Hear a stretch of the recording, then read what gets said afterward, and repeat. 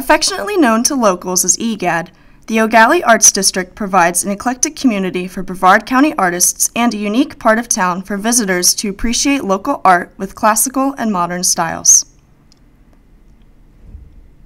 Famed for its murals, EGAD encourages visitors and residents to donate money to support the painting of murals outside of businesses in the district and throughout Brevard County.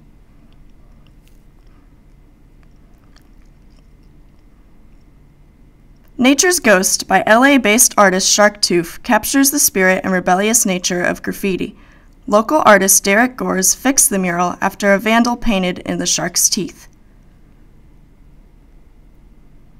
In this tribute piece, Jean Filipski pays homage to the Art Nouveau style and to iconic paintings like the Mona Lisa and the Girl with the Pearl Earring.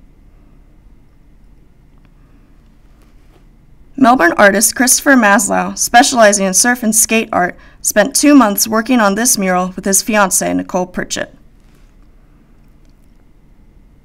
Owned by renowned collage artist Derek Gores, the Derek Gores Art Gallery hosts numerous events, including the Old and Improved Show, where local artists find old art in thrift stores and repurpose it or recycle it their own way.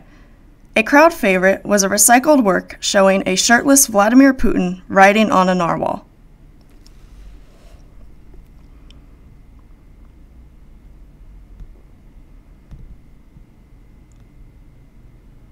Free to the public, the Foosaner Art Museum is owned by the Florida Institute of Technology and shows a variety of exhibits, including artist China Marks' stitched works.